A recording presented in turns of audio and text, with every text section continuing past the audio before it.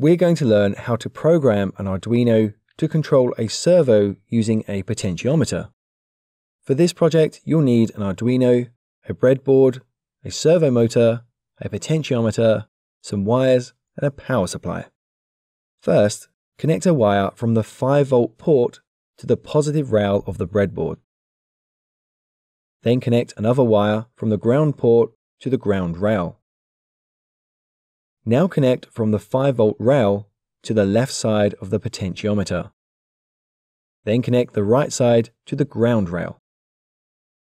Then connect the center pin to port A0. Next, connect from the 5 volt rail to the servo motor.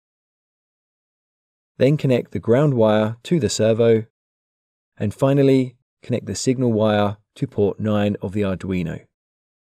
The circuit should look something like this.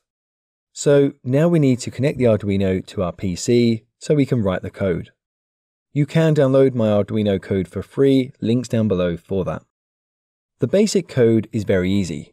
We just type this at the top. This tells the Arduino that we are using commands from the pre-made servo library. Then we need to create an object. Basically, we declare the name of the servo so that we can tell it what to do. I will call this servo1.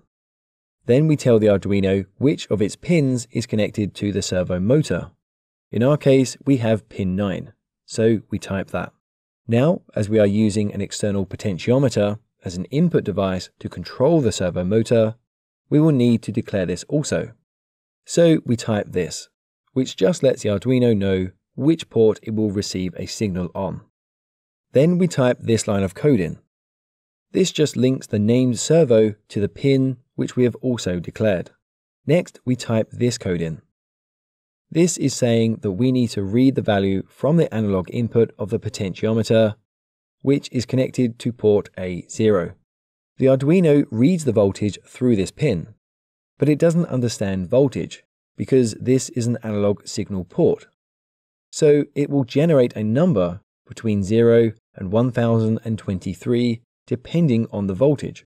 When the potentiometer is all the way to the left, it receives the full voltage, so it is 1023.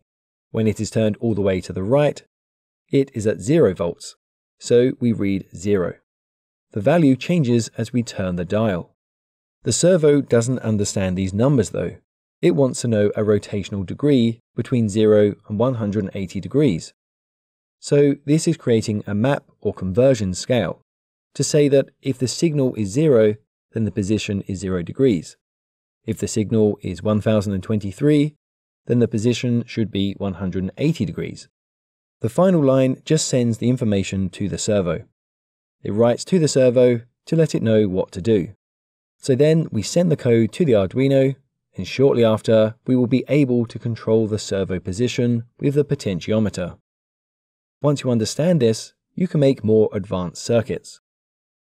Check out one of the videos on screen now to continue learning about engineering, and I'll catch you there for the next lesson.